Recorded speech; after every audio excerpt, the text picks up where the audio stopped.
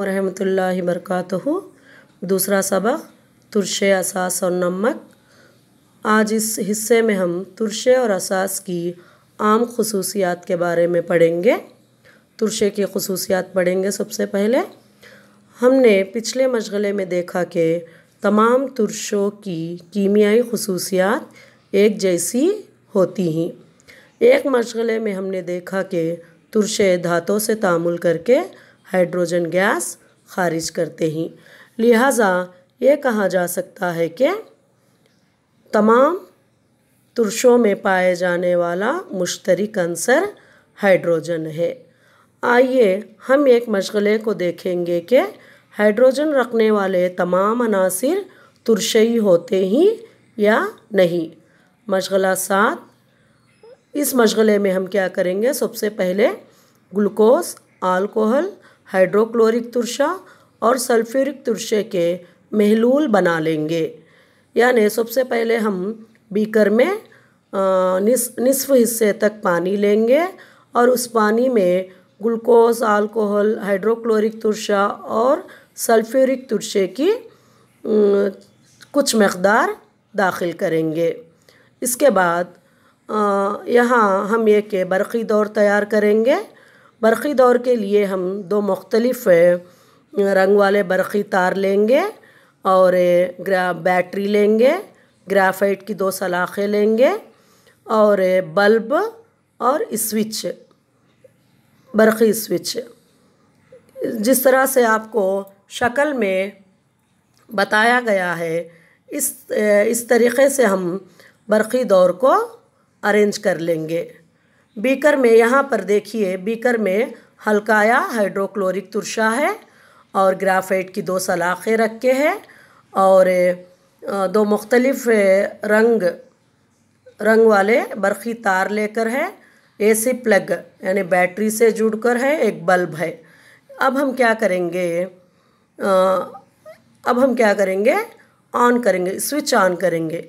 Switch on करते ही आप मुशाहिदा करेंगे कि बरक़ी बल्ब रोशन होगा। यानी आप मुशाहिदा करेंगे कि बरक़ी बल्ब सिर्फ़ तुरशई महलूल से ही रोशन होगा, ना कि ग्लूकोज और अल्कोहल महलूल से। यानि हमने यहाँ बीकर में एच सी एल लेकर तजुर्बा करें, उसके बाद हम क्या करेंगे? ग्लूकोज के महलूल में ग्राफाइट की सलाखें रखेंगे, अल्कोहल में ग्राफाइट की सलाखें रखेंगे, सल्फ्यूरिक तुरशे में भी हम ग्राफाइट की सलाखें रखेंगे। इस तरह से चार में, चार महलूलों में रखने से हमें क्या मालूम होता है? बोले तो सिर्फ़ तुरशई महलूल से ही बल्ब क्या होगा? रोशन होगा। यह इस बात की निशानदेही करते हैं कि तुरशे तुरशे महलूल में हाइड्रोजन रवा बनाते हैं, जो कि तुरशई खसूसियात के हामिल होते हैं। यानी एच सी एल तुरशई महलूल में एच प्लस और सी एल माइनस रवा बनाता है, जबकि ग्लूकोज और अल्कोहल रवा नहीं बनाते। और ग्लूकोज और अल्कोहल महलूल से बरक़ी बल्ब का रोशन ना होना इस बात को ज़ाहिर करता है कि महलूल में एच प्लस रवा मौजूद नहीं है। यानी इस मशगले से हमें क्या मालूम होता है? बरक़ी बल्ब सिर्फ़ तुरशई महलूल से ही रोशन होगा ना कि ग्लूकोज और अल्कोहल महलूल से। और शक्ल में जो नीचे जो ना, नाम क्या है? तुरशई महलूल पानी में बरक़ी मौसिल होता है। यानी तुरशई महलूल की वजह से चे क्या होता है? करंट क्या होता है या पैदा होता है? इसी तरह से असास की खसूसियात असास की खसूसियात यहाँ हम जिस तरह से तुरशे लेकर है मशगला सात में, इसी तरह से यहाँ हम सोडियम हाइड्रोक्साइड कैल्शियम हाइड्रोक्साइड वगैरह की मदद से इसी सेम तजुर्बे को दोहराएँगे। दोहराने से आपको मालूम होगा कि तुर असास भी क्या है, ये बल्ब क्या होगा, रोशन होगा। और इसके बाद मशगला आठ मशगला आठ में यहाँ पर हम क्या करेंगे? या मशगला आठ में क्या तुरशे सिर्फ़ आबी महलूल में रवा पैदा करते ही?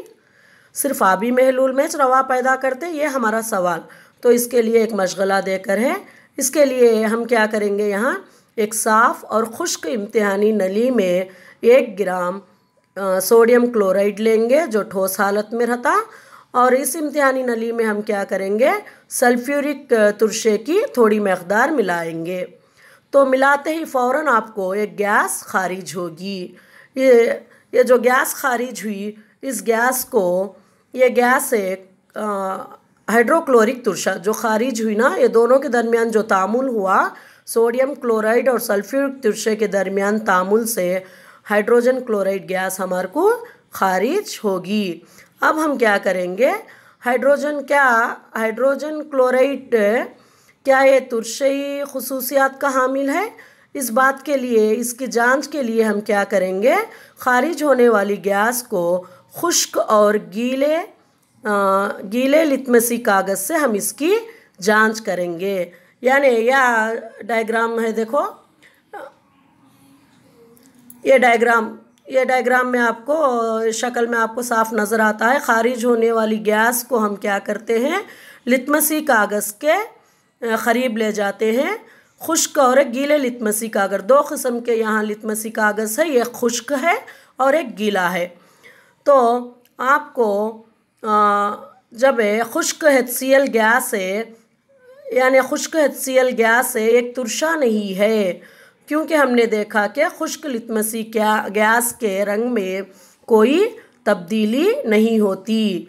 लेकिन गीला एच सी एल महलूल एक तुरशा है चूँकि मरतूब लितमसी कागज़ सुर्ख रंग में तब्दील हो जाता है। यानी गीला लितमसी कागज़ को हम इसे इसे गैस खारिज होने वाली यानी मुंतकली नली एच के करीब ले जाते हैं तो ये नीला नीला लितमसी कागज़ क्या हो जाता है? सुर्ख रंग में तब्दील हो जाता है। यानी इससे हमें क्या पता चलता है? अखराजी नली से खारिज होने वाली एच गैस पानी की मौजूदगी में हाइड्रोजन रवा बनाता है और पानी की गैर मौजूदगी में एच सी एल सालिमे वाक़ नहीं होते। इसी तरह से पानी का तुरशे या असास से तामुल, पानी का तुरशे और असास से तामुल मशगला नौ। इस मशगले में हम क्या करते हैं? दस एम पानी लेते हैं और इसमें सल्फ्यूरिक तुरशे के चंद खतरे डालकर इम्तिहानी नली को धीरे धीरे हम हिलाएँगे। तो इम्तिहानी नली को छू कर देखने से आपको मालूम होगा कि यह इम्तिहानी नली गर्म रहेगी। इसी मशगले को हम क्या करते हैं? सल्फ्यूरिक तुरशे के बजाय सोडियम हाइड्रोक्साइड के ज़रिए से भी दोहराएँगे।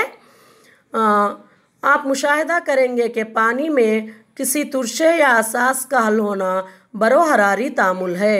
यानी पानी में हमें तुरशे या असास को हल करे तो बरो हरारी तामुल, यानी हरारत क्या होती है? यहाँ पर खारिज होती है। तो इम्तिहानी नली आपको गर्म में नज़र आएगा। गर्म गर्म गर्म महसूस करेंगे आप। पानी में मुर्तकिस नाइट्रिक तुरशा या सल्फ्यूरिक तुरशा मिलाने के दौरान शदीद एहतियात की ज़रूरत है। यानी मुर्तकिस यानी प्योर रहता है नाइट्रिक तुरशा और सल्फिक तुरशा। रवा की रवा के रवा के इर्तकाज इर्तकाज ज़्यादा रहता, इसलिए एहतियात बरतना हमें। तुरशे को पानी में धीरे धीरे से मिलाना चाहिए और मुस्तकिल हमें हिलाते रहना चाहिए। पानी में तुरशे को मिलाना चाहिए, पानी में मिलाना हमें तुरशे को, ना कि तुरशे में पानी को। अगर हम पानी को किसी मुर्तकिस तुरशे में एक बार मिला दिया जाए, तब हरारत पैदा होती है और हाथ जलस जलस जाने का इम्कान होगा। यानी हम कभी भी पानी में तुरशे को मिलाना, तुरशे में पानी नहीं मिलाना। पानी में तुरशा मिलाए तो क्या भी होता नहीं, हिलाते रहना कंटिन्यूस होने। अगर तुरशे में हमें पानी मिलाए, समझो, बहुत ज़्यादा मकदार में हरारत खारिज हो को, और बर्तन भी क्या हो जाता, शीशे का बर्तन टूटने का भी इम्कान रहता है।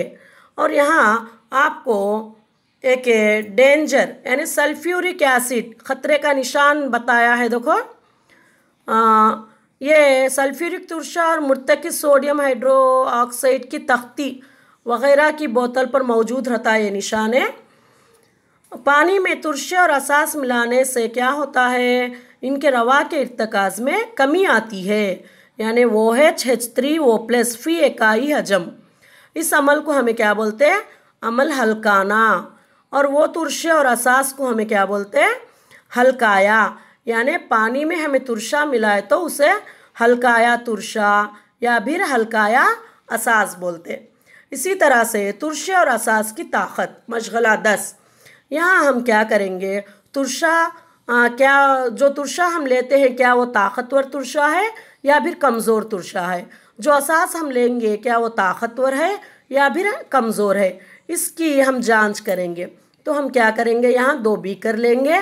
एक बीकर में हल्का या एसिटिक तुरशा लेंगे और बीकर बी में हल्का या हाइड्रोक्लोरिक तुरशा लेंगे।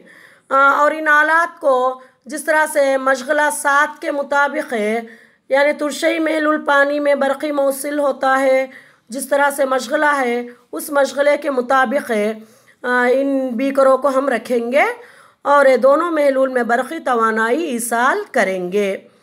आप आप मुशाहिदा करेंगे कि हाइड्रोक्लोरिक तुरशा वाला बल्ब तेज़ रोशन होगा। इसके बामुकाबिल एसिटिक तुरशे वाला बल्ब धुंधला रोशन होगा। यानी हाइड्रोक्लोरिक तुरशे से बल्ब की रोशनी क्या है? तेज़ होती है, जबकि एसिटिक तुरशे वाल तुरशा तुरशा जब रखे हमें तो बल्ब धुंधला रोशन होगा। तो इस बात की निशानदेही करता है कि हाइड्रोक्लोरिक तुरशा में रवा की तादाद ज़्यादा है, जबकि एसिटिक तुरशे में रवा की तादाद कम है। यानी एच में ज़्यादा रवा से मुराद क्या है बोले तो हेस्त्री ओ प्लस रवा की मौजूदगी है। लिहाजा हाइड्रोक्लोरिक तुरशा एच ताकतवर तुरशा होगा, जबकि एसिटिक तुरशा रवा की तादाद बहुत खलील होगी, इसलिए ये कमज़ोर तुरशा होगा। यानि बल्ब का तेज़ रोशन होना जो महलूल हमें लिए, वो यानी जो तुरशा हमें इस्तेमाल करें, अगर बल्ब ज़्यादा रोशन है तो वो तुरशा ताकतवर तुरशा होता। अगर बल्ब की रोशनी स्लो है तो वो तुरशा कमज़ोर तुरशा होता। इसी तरह से हम तजुर्बे को हल्काया यानी ये वो है यानी सोडियम हाइड्रोक्साइड और हल्का आया अमोनियम हाइड्रोक्साइड की मदद से भी अंजाम देंगे। तो आपको बल्ब की रोशनी यानी ये वो है यानी सोडियम हाइड्रोक्साइड इस्तेमाल करने पर बल्ब की रोशनी तेज़ होगी। तो ये क्या होता? ताकतवर असास कहलाता। और हल्का या एन एच फोर वो है इस्तेमाल करने पर बल्ब बल्ब की रोशनी थोड़ी कम रहेगी। यानी इसे हम क्या कहेंगे? कमज़ोर असास कहेंगे। इस तरह से हम असास और तुरशे की ताकत का हम पता लगा सकते हैं। यानी मशगला सात के ज़रिए से हम और तुरशे और असास में कौन सा तुरशा कमज़ोर है, कौन सा तुरशा ताकतवर है और कौन सा असास कमज़ोर है, कौन सा असास ताकतवर है? इसकी भी हम जाँच कर सकते हैं।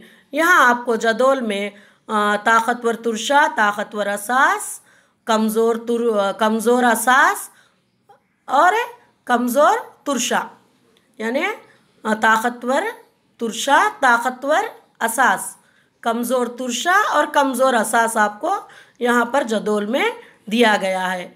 आप इसे नोट कीजिए। अस्सलाम वालेकुम वरहमतुल्लाहि व बरकातहू।